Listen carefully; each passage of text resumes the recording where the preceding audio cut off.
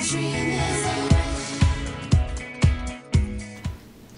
guys and welcome to my channel. So I wanted to do some Disneyland videos. I wanted to do vlogs, lookbooks, etc. But what happened is we just got too busy.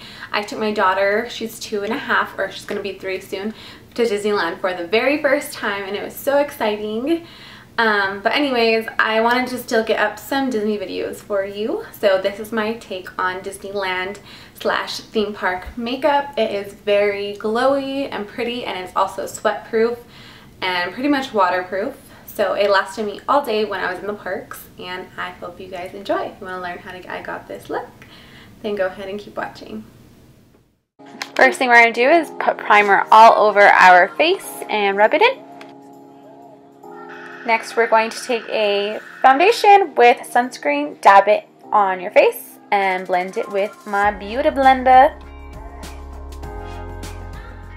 Next, taking a concealer, hopefully it's waterproof or water resistant, dab it in areas that you need coverage. I make V's because I kind of like to contour and I don't super blend it in. Next, taking an eyeshadow, I'm going to just place it all over my lid, not the whole lid, but up to your crease and blend it with your fingers at first. And then we are going to come in with this brush and really blend it out and blend it all over the lid. And this is the only eyeshadow that we're going to be using.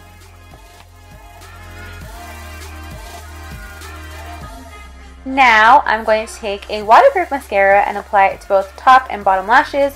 You could end there um, with your lashes, but I like to go in and go ahead and use some falsies because it's me and I'm crazy. I'm crazy, guys.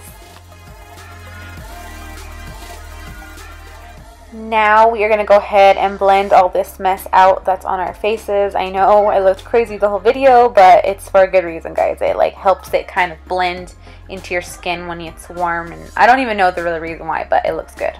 So I do that. I let it sit on my skin for a while. So I guess the technique is called baking, and this is how it looks when it's done.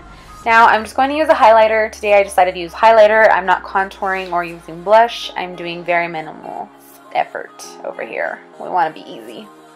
And then we're going to go ahead and go in with a matte lip because matte isn't going to fall all over your face or be melting or anything awful like that. And yeah, I love these matte lips because they are super, super moisturizing. The very last step, I'm going to take a setting spray and just spritz myself and yeah, I look like a creep at the end, so